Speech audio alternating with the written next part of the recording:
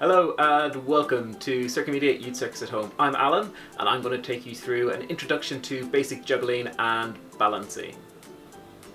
So today we're going to start learning to juggle with scars. Juggling with three scars looks a little bit like this. But obviously that takes a little bit of practice. So today we're going to focus on two scars.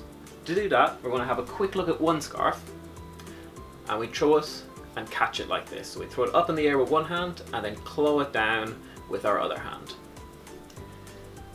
Now, with two scars, what I'd like you to focus on is making an X shape with the scars in the air in front of you. So they cross over and then we claw them down. We're not juggling in a circle or a triangle pattern like this. We're not going throw, pass, throw, pass. We're going throw, throw, catch, catch. Throw, throw, catch, catch. It doesn't matter which hand you start with, throw, throw, catch, catch, throw, throw, catch, catch. What we're really looking for are two throws and that lovely X shape in the middle. Now, I've got juggling scars here, but you mightn't have those at home. So you can try it maybe with some tissues. Clean, of course. Or you can even try it with some shopping bags.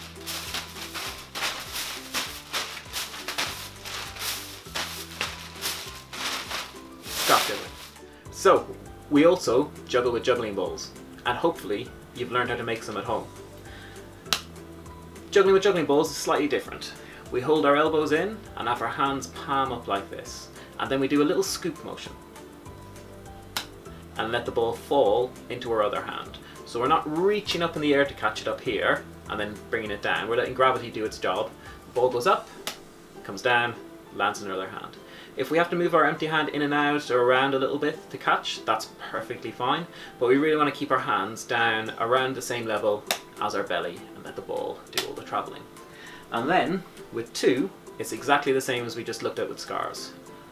One, two, catch, catch. A little bit faster. One, two, catch, catch. Then we had with scars because the balls move quicker. But it's really important that we still get that same X shape here in front of us and we keep our hands down around our bellies. One, two, catch, catch, just like that. So, that's the boring technique side of things out of the way. Now it's over to you to get on with the practicing. The next thing we're going to do today is learn how to balance an object. I'm going to start by balancing a peacock feather. Now the best place to balance something when we're learning is either in the center of our palm or on one of our fingertips. I'm going to choose the center of my palm. So I put my hand out really flat I put the feather right in the middle of my palm and then I look at the very top of my feather. Because when we're balancing something, we always look at its highest point.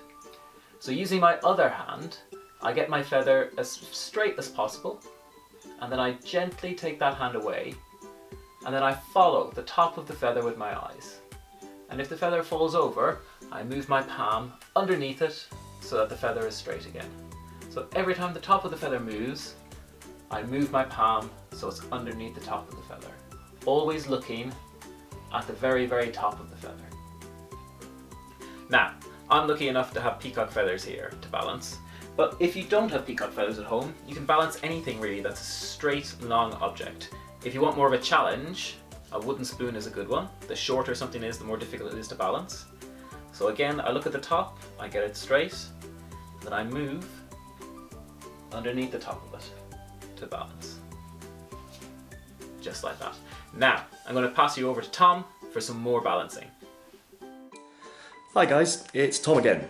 Now, learning to balance things on your face can be a really good way to pass the time when you're tragically unable to attend your regular scheduled Circomedia Youth Circus class. And there are all kinds of household items that will make perfectly good balancing props if used correctly. Wooden spoons, cardboard tubes, brooms, cricket bats, even a frying pan can be a serviceable balancing tool. However, gaffer taping a video camera to the end of a broom and trying to learn to balance that on your face is something that you should really only ever do if you own both the video camera and the broom. Or if you're just really sure you're not going to get caught.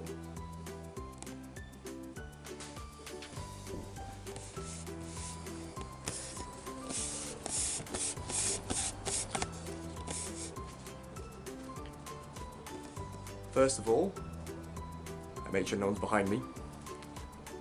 Then, I place the tip of the broom on my nose. I look up at the very top part of the object, in this case, a video camera. And when I'm ready, I let go. And wherever the video camera starts to move, I follow it with my whole body. And then I quit while I'm ahead.